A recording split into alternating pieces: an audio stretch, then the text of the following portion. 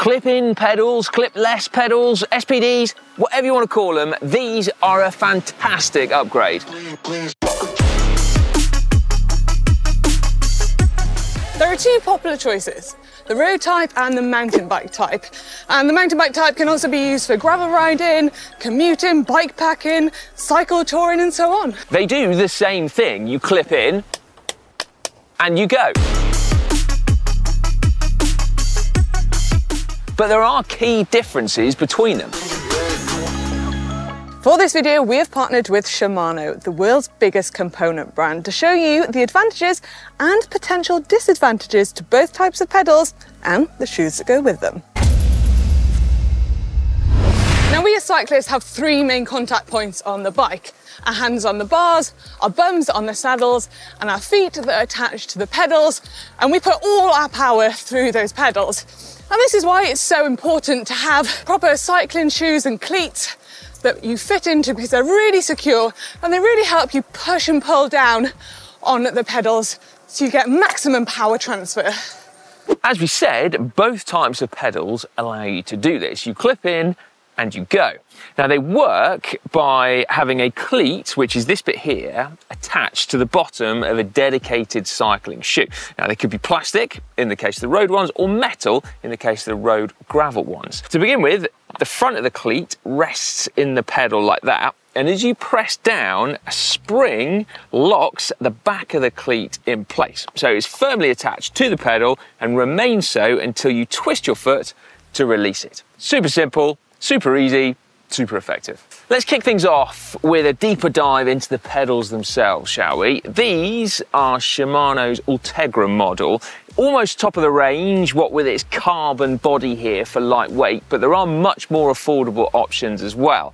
Now, one of the hallmarks of a road pedal is that they tend to be single-sided, like this one. So in order to clip in, you have to be standing on the pedal the right way up. Now, that's not hard in reality because the pedal hangs in a way that allows you to clip in easily. The reason for it being single-sided is partly to save weight, so you have only half the number of moving parts on the pedal, but also because frankly you don't need it to be two-sided. Once you clip in on the road, you tend to stay clipped in for a long time, and so therefore you just simply don't need that ease of getting in and out. In contrast, mountain bike pedals are designed so you can clip in a lot easier. Because you're not on the smooth road, they are designed so you can clip in either side of the pedal. And in terms of the disadvantages, well, because they are double-sided, it means that they are going to be slightly heavier, but really it's not that much. It's around 100 grams for the pair. There is, however, a much more significant difference from this design.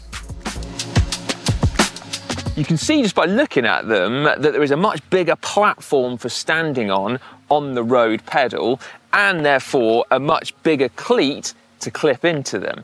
The reason for that is to get a really secure connection to the pedal for maximum power transfer and with no rocking.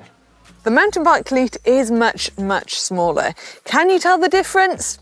Probably not. It still feels super secure, but theoretically you probably could. Now, this cleat attaches with two small bolts instead of the three, and it's so out of the way that you can have normal tread on your shoe and still walk around really easily. This cleat, meanwhile, as I've said, is much larger and it attaches to the shoe via three bolts here. And apart from that, there really is nothing else going on on the sole of the shoe. These shoes ain't made for walking. Like the pedals, they're designed with one purpose, which to be as good as they possibly can be for road cycling, which is to say they need to be comfortable, they need to be lightweight, they need to be stiff, and that's it. Walking does not come into the equation. To illustrate the difference, we've come to a cyclist's favourite habitat, a posh cafe, in order to buy ourselves posh coffee. Hi, could I get an Americano, please?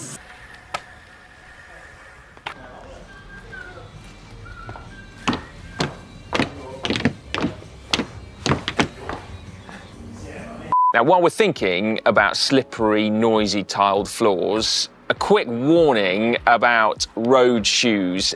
They can be a little bit slippy and road cleats as well. I find that these ones with the little yellow bits here, they do tend to grip okay. And actually, if you are doing any walking, then these points here stop the important bits of the cleat getting damaged from wear and tear. But yeah, road system tends to be quite slippy.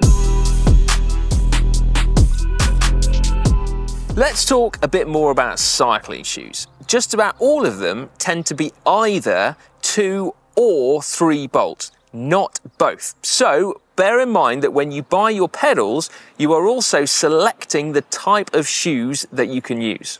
At the performance end of the shoes, they tend to be pretty similar. So most of them will have a carbon sole, which is pretty stiff. It's good for power transfer and it's also lightweight as well. The shoes will usually have a really secure closure system on them as well, so it keeps your foot nice and snug and prevents any movement. And they also tend to be pretty breathable, so on this one you can see it's got vents at the bottom there, because let's be honest, us cyclists tend to get quite sweaty, and we don't want our little tootsies overheating now, do we?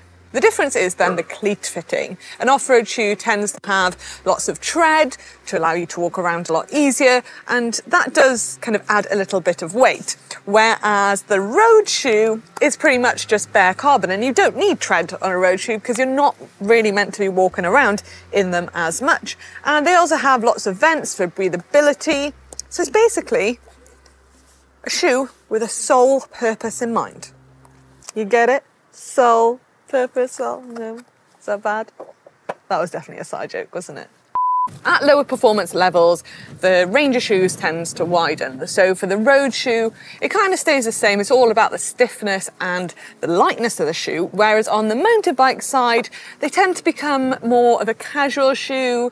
The soles become less stiff to make them easier to walk around in and some of them are even camouflaged as non-cycling shoes. What about gravel shoes then? Well, in the early days, riders had to choose between a road shoe and a mountain bike shoe, but now there's lots of gravel Pacific shoes out there, like this one, and it kind of takes the element from a road shoe, so the lightness and the stiffness of that shoe, and some elements of a mountain bike shoe, so the tread and being able to walk around them, and put it into one shoe. A gravel shoe tends to be a lot easier to walk around in. It hasn't got that big chunky cleat sticking out the bottom that you're going to slip around on. And this gravel shoe actually has a cuff, and this is to keep all that gnarly bits of gravel from flying into your shoe and attacking your foot. They also tend to be a little bit less stiff, so this one is rated a 10 stiffness, and this one, solid 12. What about mixing and matching pedal styles with types of bike then? I'm currently riding my very lovely top of the range road bike and I'm wearing Shimano gravel shoes. These are the RX8R models. I love the style of them, but there is something internally inside me screaming, no! And it's not for performance reasons. They feel absolutely fantastic. It's more the principle of using a mountain bike or a gravel shoe on a top end road bike. There's absolutely nothing wrong with it, except I wouldn't do it. Now, what about road shoes and pedals on a gravel bike? I mean, it does feel good and it looks quite cool too, but my only issue with it is when I'm riding off road, there is a higher chance I need to get off and walk. And at that point, it'll be a little bit tricky.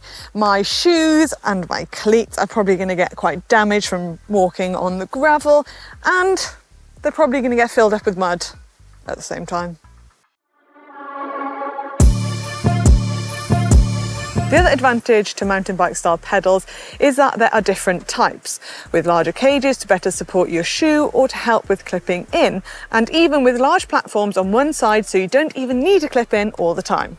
In terms of cost, both types are similar. The top end ones are a little bit more expensive on the road due to carbon being used in the pedals to keep the weight down, but at the entry level point, they are the same. With shoes, the prices also tend to be similar. So those are the differences, but what does it actually mean? Well, for most riders, most of the time, the mountain bike gravel pedal system wins out.